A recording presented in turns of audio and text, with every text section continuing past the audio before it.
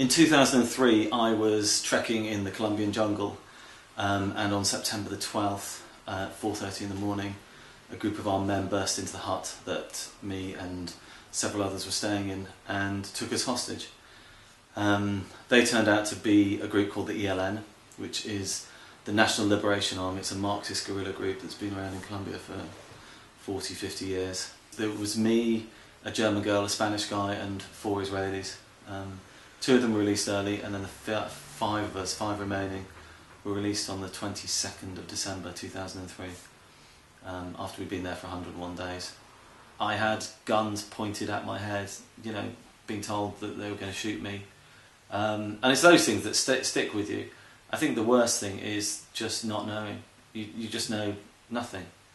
Um, you don't know if you're ever going to see your family again. You don't know if you're ever going to go home again.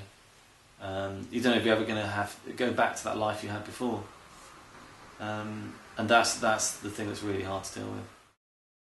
About six months after I was released, I met up um, for dinner with the priest who had negotiated our release. He's a Colombian priest, and he was over in London. And he said, uh, "There's someone from the mountains that wants to get in touch with you." And I kind of, first of all, thought, "Well, who, who can that be?" Because I'm in touch with all the other hostages. You know, we're we're all friends and, and whatnot. And he said, "Oh, it's it's one of one of the captors, I think he said. Um, and I knew almost straight away which one it would be, that it would be this guard Antonio, because he was the one that I struck up a relationship with, had got on with better than the others. He's the one that kind of shown some sparks of humanity, whereas the others sometimes have been quite cruel to us. Um, and I handed over my email address thinking, I'm not sure where this is going to go, um, but I'm quite excited about this, I'm quite intrigued. I didn't hear anything for about four months or five months, and then suddenly in November, mid-November, I got an email in my inbox.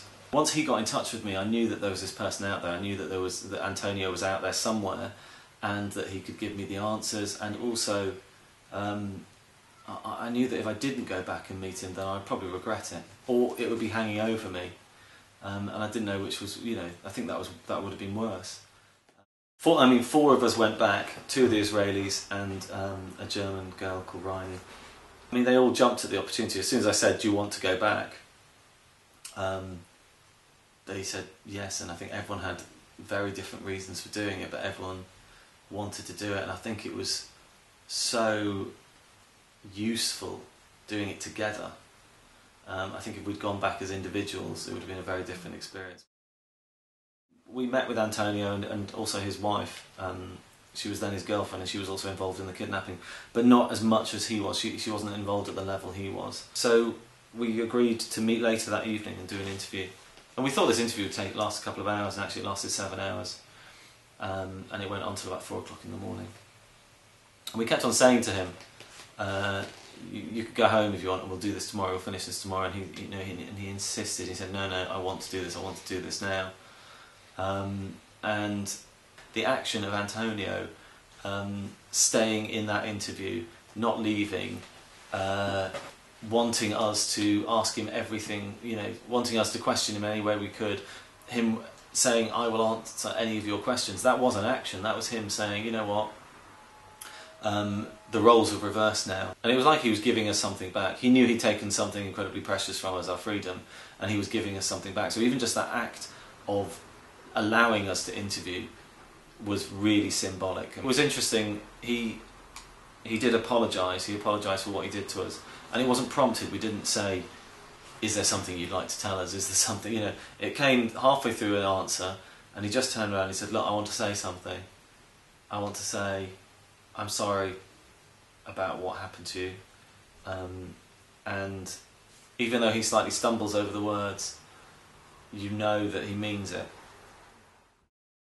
I think actually forgiveness is of such a uh, it's not black and white. It's a very difficult concept to to uh, to explain. I needed to know what he felt as a human being. I didn't want him to be just a soldier in this army. I wanted to, I wanted to know what it felt like as a human being to take someone hostage and to look at us every day and, and see that we were suffering. And I think in the end, I, he you know he accepted that that he, he that that was wrong and and and that that, that affected him. But one thing I did learn while I was kidnapped was that I found anger to be a very useless emotion, um, especially in in that situation. There was no use being angry with them because there was nothing it could do. Anger just wound me up. It just made me, uh, you know, it made the situation for me internally worse. I couldn't punch them, I couldn't shout at them, I couldn't scream at them, I couldn't do anything. Um, and even though there were times when I was so angry, I was just, you know, uncontrollably angry, I had to keep a dampener on that. I had to, you know, not let that emotion override everything else because you wouldn't be able to survive on a day to day basis. And I think that's one of the things I've taken from the whole situation that what's the use of being angry with these people?